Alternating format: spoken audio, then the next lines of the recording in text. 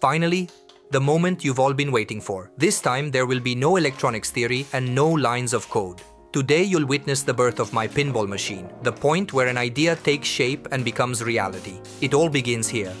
A journey made of lights, mechanics and pure passion. Get ready because from this very moment, the dream comes to life. First of all, a huge thank you for all the wonderful comments you left on episode 4. They truly moved me. Today, I am closer than ever to fulfilling my biggest childhood dream, building a real pinball machine just like the ones I used to see in the arcade. This time we're going big, so sit back and get comfortable, because there's a lot to see. Every pinball machine has always had one fundamental goal, to entertain the player by keeping the ball constantly in motion. But have you ever wondered how the ball is made ready for a new launch once it's lost? It was only between the late 1960s and the early 1970s that the real protagonist appeared, the ball trough, an inclined channel where the balls line up, waiting to be pushed one by one into the shooter lane, a small masterpiece of engineering that works silently to give the player the magic of a new launch. But how did I build mine? This is my original project, a simplified version of that system, but at least it's my own design. It includes two coils, one for repositioning and one for launching the ball back into play, along with two sensors. I exported the model into Fusion 360 and extruded the shapes to create the guiding channel and a small ramp. Now however, I need to build this system on my playfield. First, I have to do something essential. I designed it so that I can choose what parts of the entire pinball machine's components to display. I hide all the layers and leave only those dedicated to laser cutting with through cuts. The problem is, I don't have such a large laser engraver, so how can I do it? And here comes the clever idea, cutting the playfield into two parts using this special layer. See? These are clamp joint interlocks, crafted manually. Of course, one of the two cuts needs an offset of 0.3 millimeters to compensate for the material lost during cutting. So, we take a 1 centimeter plywood board and start the engraving and cutting process. I had always dreamed of having a machine like this, back when affordable laser engravers didn't even exist. With the Atomstack Kraft, I made all the holes in two passes, lowering the head by 5mm to achieve a perfectly clean through cut. Wonderful. I've completed the first part and I must say it turned out beautifully. Now I move on to the second plywood board and start the second process.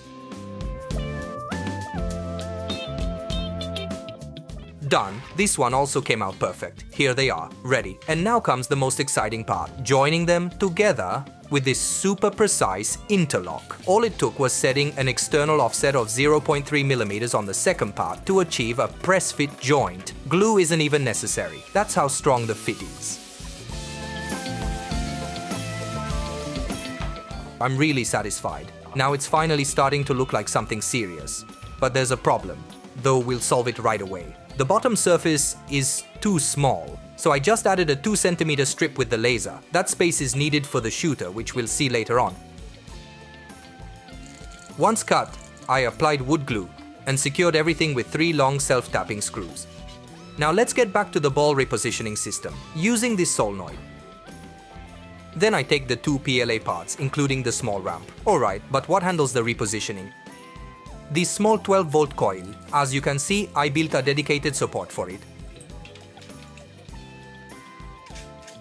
When the ball drops, the coil, triggered by a sensor, pushes it away. To prevent the balls from rolling back, I added this small ramp. But what if we don't have a 3D printer? I really did my best to make this project replicable and accessible to everyone, thanks to the service offered by JLC 3DP, a Chinese company that perfectly embraces the spirit of DIY. With their 3D printing service, I was able to create most of the components of my pinball machine. Guys, I swear, once the project is finished, or even a few months earlier, all the 3D files will be available for download from my website. And if you don't have a 3D printer at home, you can simply rely on this service. I can guarantee it's truly professional with outstanding quality. The result compared to an ordinary home FDM printer is a whole different story. All you need to do is upload your STL files on their website, and in just a few seconds you can check the prices, choose from a huge range of materials, and even inspect the model in section view to make sure there are no imperfections. And now, a little spoiler take a look at what's coming up in this very episode. All these parts have already been made and they form a large part of the pinball machine's mechanism. In addition to 3D printing, I also relied on their PCB service for making my circuit boards. If you're looking for a simple, affordable, reliable service, and especially if you are a new user, you can take advantage of a $70 super coupon to get your first prints for free. Do is click the link you'll find in the description or in the first comment. But now, back to our build. Let's move on to the ball launching mechanism. Using aluminum, after cutting and filing, I made this special arm where I insert a countersunk screw. I pass three washers as spacers and then lock it firmly in place. This screw is used to couple with the solenoid's plunger. Next, I need a bracket to hold the solenoid in position. In the end, this is how the system works. When powered, the coil pulls this small arm and performs two actions simultaneously. The first is to feed the ball into the playfield, either after a loss or at the start of a new game. The second is to stop the next ball from coming through. It still needs fine-tuning, but the logic is working. The only thing left is to add a small rod to prevent the first ball from slipping out. Now it's perfect. Now, let's move on to the sensor. When it detects the ball, it repositions it according to the programmed logic. As you can see, I built a dedicated mount. To fix it, just one small screw is enough. When the ball stops, it aligns perfectly in front of the sensor. Let's test it. It works perfectly. The sensor detects the ball, and the solenoid pushes it away. But to make the system fully automated, we still need to build the rails. I made these two wider, otherwise they wouldn't be visible. This way it's also easier for you to replicate. I must admit I didn't expect them to come out this well.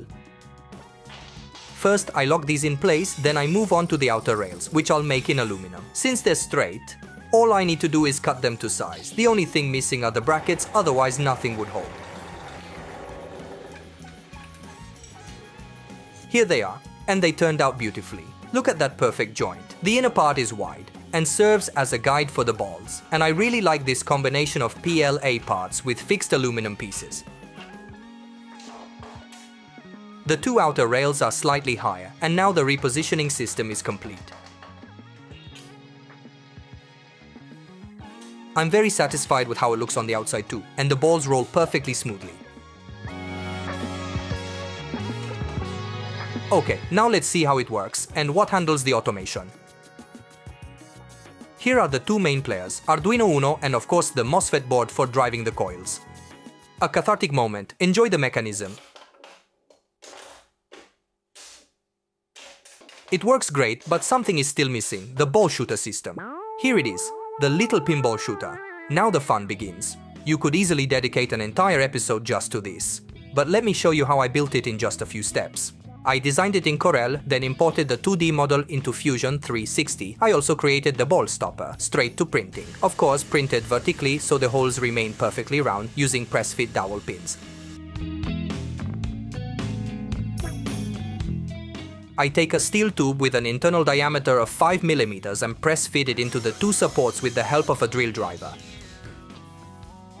Inside, a 5mm rod must slide perfectly with just a slight tolerance, otherwise it won't move smoothly. I insert a long spring, a shorter one and two clamps to test the feedback.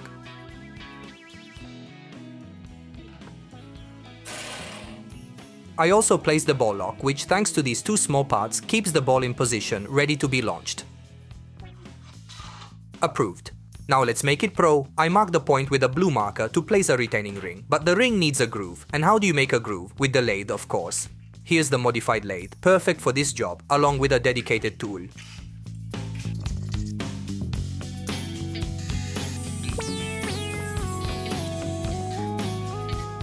Naturally, I go by feel, I'm not a professional turner, uh, but luckily it worked out fine, and now the spring no longer slips out. Then I moved to the other end because I need to add a knob.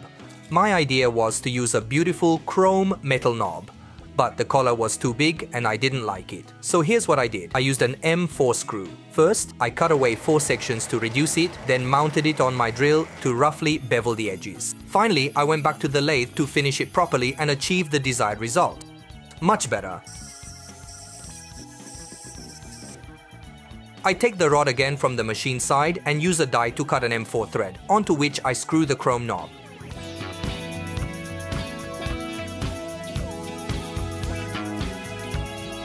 Spectacular, I must say I really love the result. Built in just a few hours, but the satisfaction is huge.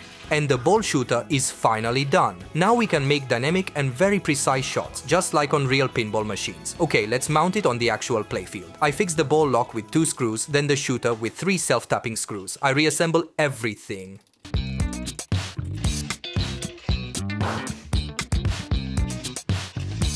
Guys, what am I building here? I'm really satisfied. But to make it playable, I need to fix the problem with these holes. I simply fill them with special inserts. The lights you've already seen in previous episodes snap in place with a press fit.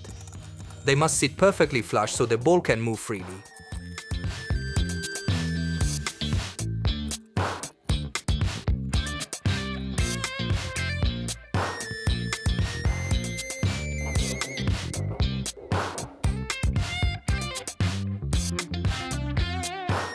Honestly, it almost looks like a professional product. Now I make the two guides found on every pinball machine. To complicate things, I decided to make them out of aluminum.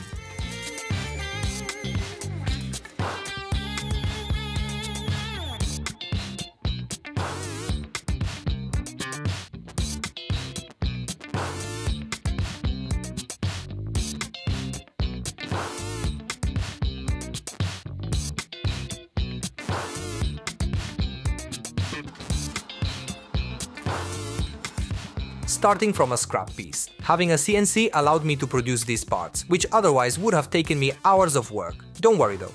I also made STL versions, so they're replicable. Time to position them. I also add the two finishing plastics and 3D print the extra elements that form the left and right kickers.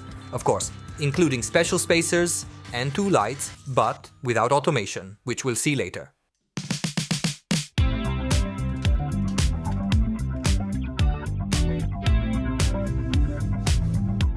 Now let's talk about rebounds. A pinball machine is far more complex than it seems. It requires careful design, even just to calculate the height of the rings. I need to make all the ball bumpers, but if the height isn't correct, this happens. The bumper center must be slightly higher than the ball's center of mass, similar to a billiard cushion. The 3D model goes straight to print, and I make several. The hole has to be extremely precise, so I prefer to make it slightly smaller and then ream it with a 3mm bit.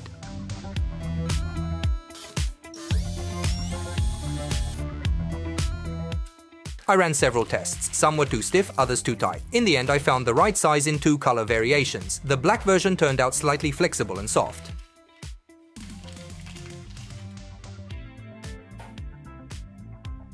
So it can even be pressed in by hand.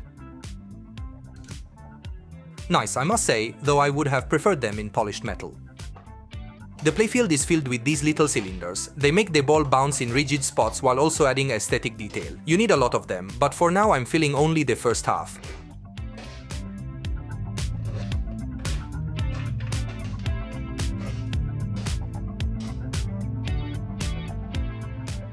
I also made alternative models using silicone tubing bought on AliExpress as the rebound surface, a cheaper option but with less coverage.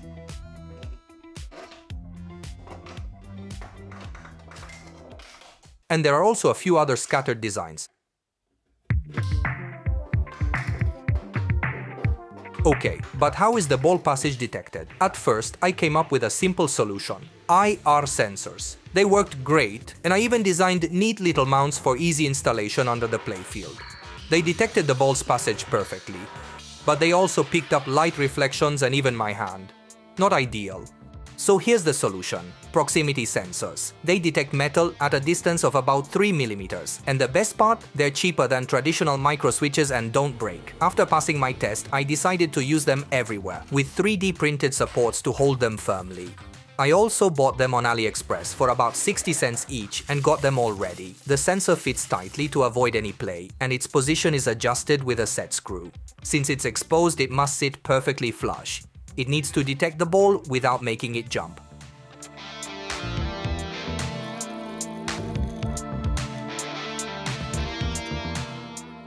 I'll use about 15 of them.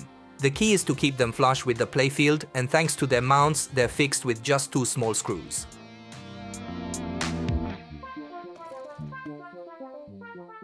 I install all the sensors on the first half of the playfield.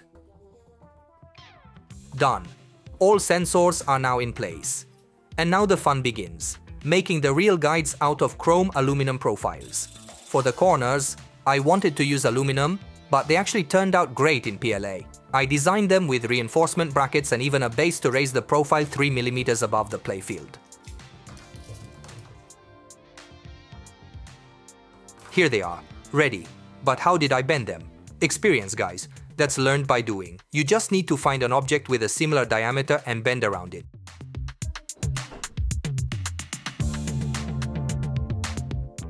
This way, I mount the first one on the left side and with the same shared support, I place the other above it. For the other profiles, bends can be done by hand too, but be careful. Aluminum has memory, so you need to make small corrections until you get the desired shape.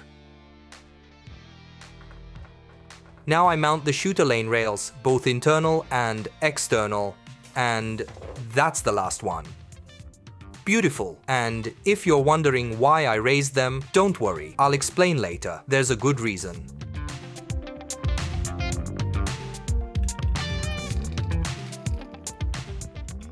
To complete some zones with 3D printing, I also made end caps with rods fitted with O-rings for super bouncers. Naturally, I did the same on the right side.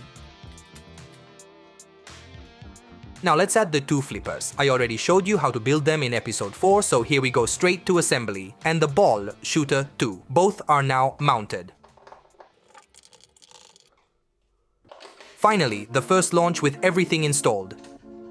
Guys, it really feels like playing with a real pinball machine. The ball launches, the automation works perfectly. I swear I didn't think it would turn out this good. I can't believe it. My dream is coming true. Just think, what you're seeing now is only a very small part of how it will look in the end. Building a pinball machine, guys, is something truly wonderful.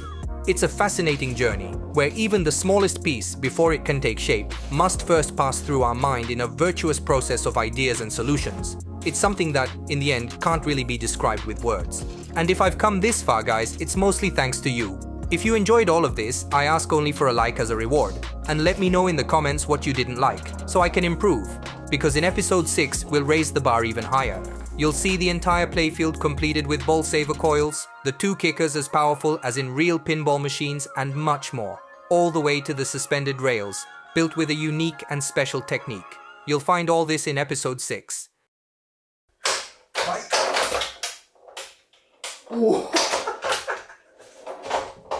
Basta.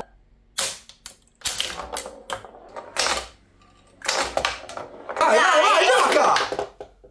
Ma perché, Betty? Te l'ho detto che non è ancora giocabile, dai! Vedi che gioco. Over the years, I've built many DIY objects that work perfectly, and you can replicate them too. If you want, you can subscribe to this channel, and when the community gets bigger, I might bring you even more beautiful and interesting projects. Give a like if you want more videos like this.